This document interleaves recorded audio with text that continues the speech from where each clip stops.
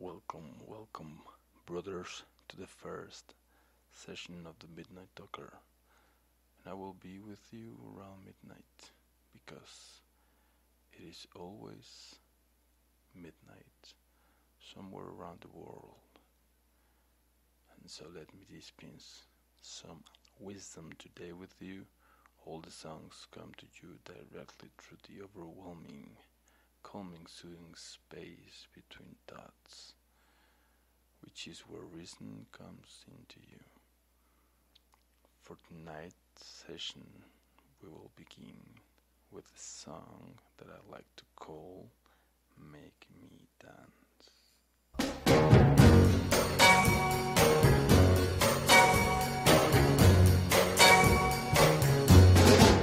When your baby leaves you all alone and nobody calls you on the phone. Don't you feel like a crying? Don't you feel like crying? Well, here I am, honey. Uh, come on, you cry to me. when you're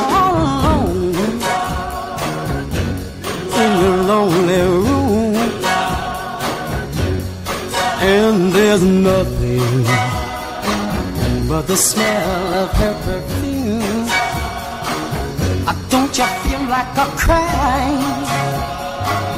Uh, don't you feel like crying? I don't you feel like a cry? Come on,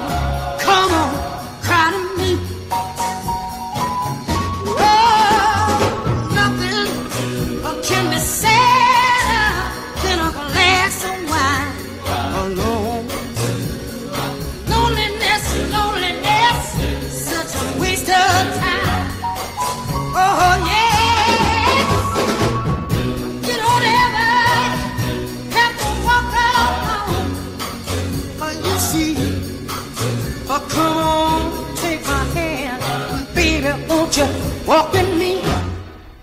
Oh, oh yeah. When you're waiting for a voice to come in the night, but there's no one. Don't you feel like a cry? Cry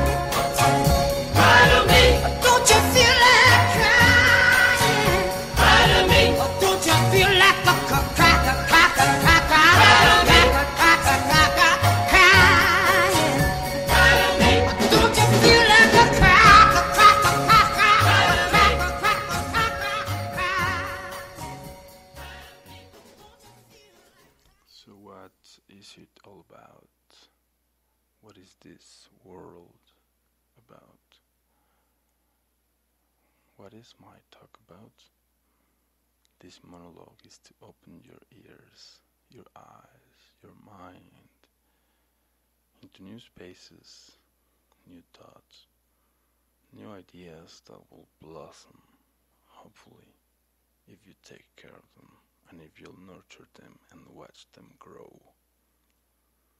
And this happens not because they are mine, but because they are yours. Since you are me and I am you, and I'm not the walrus, the walrus is us. We are all connected, cuckoo cuckoo. Because of that, we have to combat an obnoxious and dangerous idea. Idea that the powers that be can control us. And yes, sometimes they do get us through mainstream media and noise trying to subdue our minds into doing what we're supposed to do, trying to force what the right path for us is. We have to find the thing is that we all think of people as we used to say. People can be killed, but ideas, ideas are persistent. And I will leave you with the following thoughts to make up your mind. The first one is ideas are persistent. Remember V for Vendetta and then remember Inception and then remember all the important people that has come and gone, but their memories have lingered on. They have lingered on through history books and fame. What do you remember of them? What do you remember of them is an idea. So this is also an idea pervasive to the mind. Some people call me the space cowboy. Gangster of love. Some people call me Maurice. Cause I speak of the pompatus of love. People talk about me, baby.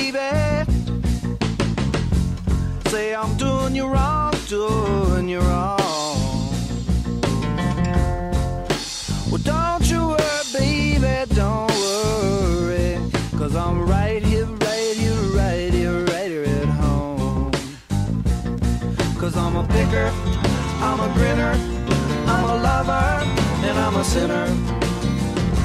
I play my music in the sun.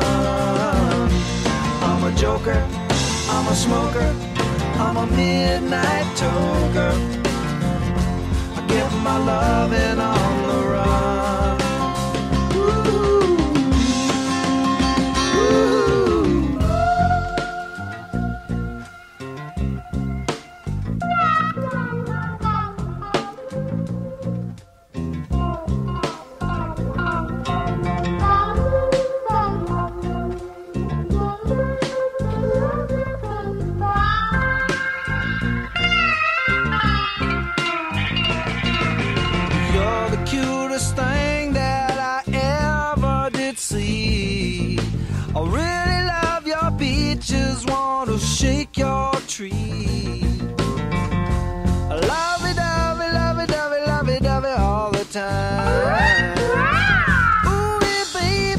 I sure show you a good time.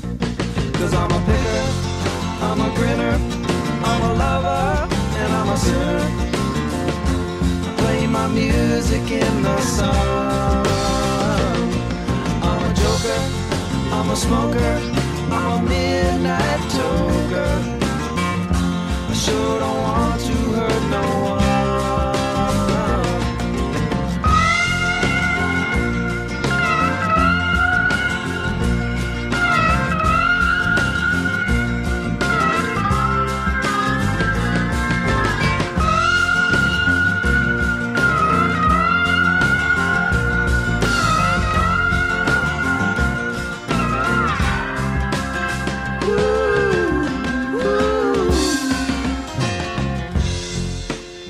People keep talking about me, baby. Say I'm doing you wrong. Well, don't you worry, don't worry, no, don't worry, mama. Cause I'm right here at home. You're the cutest thing I ever did see. Shake your tree. Lovey dovey, lovey dovey, lovey dovey all the time. Come on, baby, now. Show you a good why not? Because love is one of the greatest ideas. Now you see my premise makes sense. For love is something that we all strive for in many different ways. But love is an idea, but most of an idea, it is also a feeling. That makes it even more powerful than anything else in this universe. But because it has roots in your heart, and your heart can open the heavens for you, and for the world, and for everyone around you.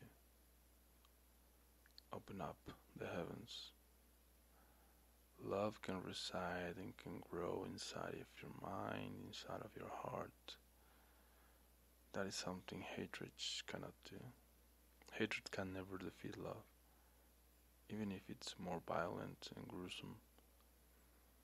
Because hate is only an idea and it can only reside in your mind.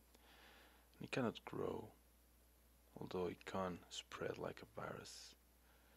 And as such, it will destroy the host. It is around midnight in San Salvador and Salt Lake City, so there is always hope for the broken-hearted. Once upon a midnight dreary, while I pondered, weak and weary, over many a quaint and curious volume of forgotten law, while I nodded, nearly napping, suddenly there came a tapping, as of some of one gently rapping, rapping at my chamber door.